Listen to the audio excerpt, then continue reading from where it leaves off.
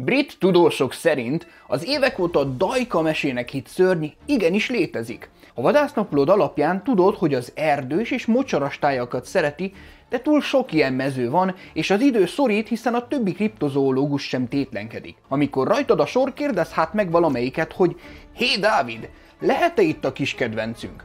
Ha koronggal válaszol, akkor az igent jelent, és a nyoma alapján ez lehet a szörny élőhelye.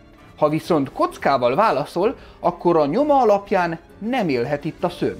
Ilyenkor neked is kockát kell tenned a térkép valamelyik mezőjére, és ajánlott egy olyat választani, amivel keveset árulsz el magadról. Az információ aranyat ér, és ahogy a térkép lassan megtelik jelölőkkel, úgy egyre jobban körvonalazódik a kriptid élőhelye, míg valaki azt mondja, Euréka! És remegő kézzel rábök egy mezőre. Itt van! Itt van! Korongot tesz rá, majd körben minden más tudós a fejét fogja, hogy késő. Nevük feledésbe merül, és koronggal koronázza meg az élelmes vetétársát.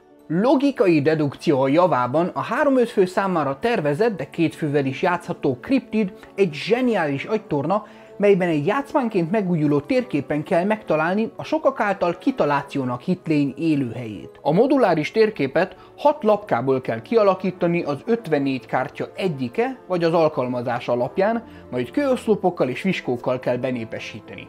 Ezt követően minden játékos kap egy titkos nyomot az élőhelyt illetően, és indulhat a hajsza. Körünkben vagy kérdezünk, vagy tippelünk, és a kérdésekre kizárólag kockával, vagy koronggal válaszolhatunk.